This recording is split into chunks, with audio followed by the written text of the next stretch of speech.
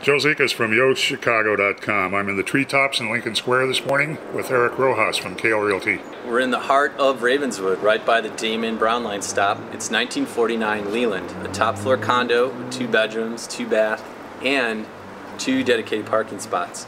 Uh, but you might not need them that much as you're walking to everything right outside your door. Of course, the Brown Line, grocery stores, coffee shops, bars.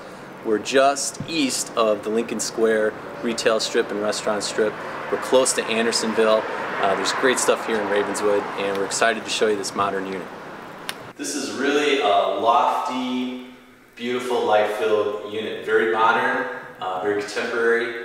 It has the open concept, as you can see, uh, with modern cabinetry. A beautiful uh, bench built in under the window, which I thought was really cool. The unit has surround sound throughout, so you get this really cool loft, modern feel, and you can have sound actually all through the unit.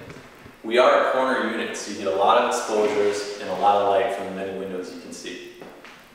The unit has a couple other features. A tankless water heater, it's central air conditioning, gas force heat, uh, so that's all contained in the unit. You control everything. And it's a very efficient unit. You're on the top floor with modern mechanicals, so it's actually uh, pretty inexpensive to own.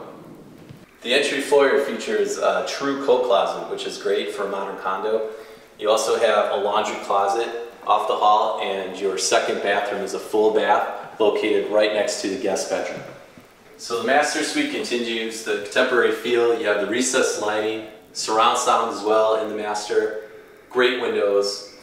You have your in-suite bath uh, that's really attractive, and best up, you have a huge walk-in closet. We've just seen 1949 West Leland, uh, a really contemporary lofty condo in a beautiful boutique eight unit condo building. Remember you have two car parking, two beds, two baths, surround sound, uh, so a great modern feel in a really classic Chicago neighborhood.